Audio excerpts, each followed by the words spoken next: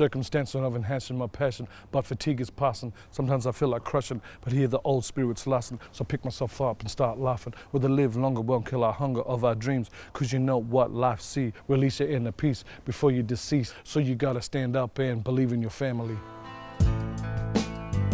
first time when I got the news, I was about 25 and they did the sugar test. I just remember the doctor saying to me, um, you know, I'm sorry to say that you have, you know, type 2 diabetes and that. Yeah, it was kind of a mixed emotion feeling and fittest one in the family and, you know, it wasn't really, you know, drinking and partying up, you know. I think it was more kind of shocked. The way I feel about diabetes now, it's more like I can control it and it's not as scary you know. So before it was kind of like maybe a bit of denial. It is a serious condition, but to me it's an, an, easy thing to manage and you know control. And that's what my dad always says: as long as you control it and look after yourself, he said it, it won't it won't even bother you. I get a lot of support, you know. My uh, my son, he's always like looking at what I'm eating and that, and always telling me off. It's my dad from the beginning. He's always but he's that kind of constant way of coming across like a father. You know, always be on top of, you know, medication, always, you know, look out for these things. Um, you know, my partner, it's kind of, we take a lot of jokes out of it sometimes, you know. She'll say things like, if people ask me, she'll come across and says, no, he can't have that, he's diabetic, you know. And so, so we have a laugh and I'm like, you can't be telling people that, you know.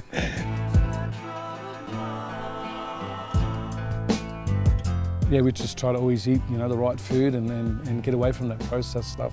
Uh, you know, mainly like the lollies and chocolates and sugar drinks, you know, stuff like that, you know. Even some things that you don't realise where there's high sugar in, you know. We need to uh, attack where our big problems are. Diabetes is, I reckon, is at the top of the list. Just with the medication alone is just scary because how much medication you have to take for diabetes.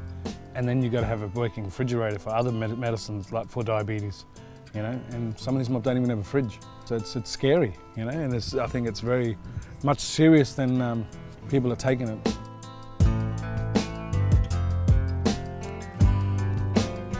you don't realise the opportunities that come arise, you know, when you, you become diabetic. Like you look into food more, like ingredients, and you start reading the back, you learn so much more about different people, different cultures, you know, variety of food and what's healthy and what's not. And then that just opens up more doors, you know.